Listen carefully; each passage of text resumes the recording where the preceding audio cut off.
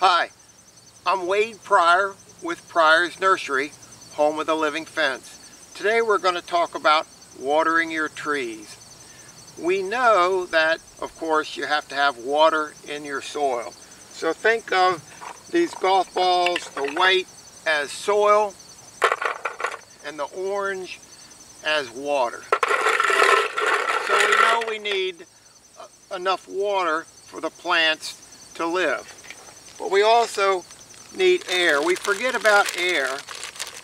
So if we think about these yellow balls as air, we also need air in the soil.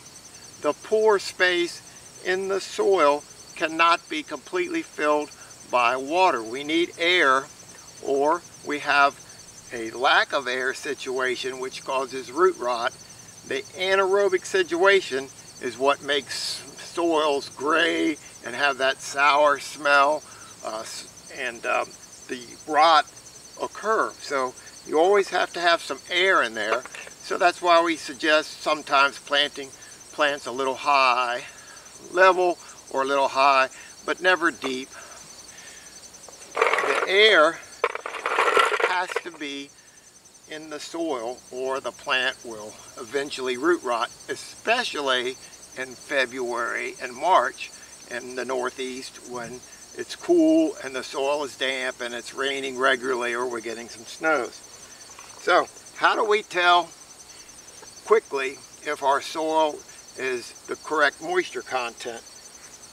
Well, if we grab a little bit of soil and we squeeze it in a ball and it falls apart, that's too dry. If we grab some soil and we squeeze it in a ball and it stays in a ball, that's probably about right. And if we grab soil and squeeze it and it oozes out of our hands, well, even though we can make a tight ball, that's just too wet when it's oozing out of your hands.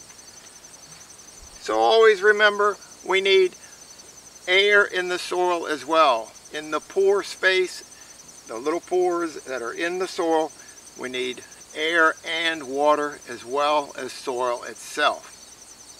Thank you.